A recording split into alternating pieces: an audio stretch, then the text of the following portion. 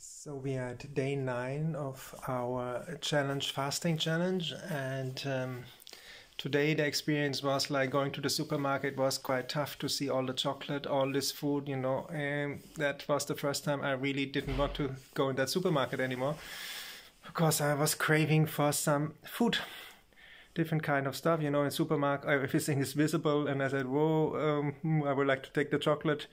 Kinder Schokolade, for example, but I we kept the promise. We keep on fasting. And uh, somebody asked me like, "What are you doing during the day?" You know, working, working on my YouTube channel and on other different things. And also they asked about prayers. So we pray the rosary. I pray two rosaries today. Uh, like Tim's friends, they pray three rosaries a day. And um, that's basically the news. We are keep sticking in. We are going for it. We are craving for food and we were thinking, you know, it would be nice to cook something tonight, but we are keeping up the challenge and we are, um, yeah, keeping eating the bread in different variations.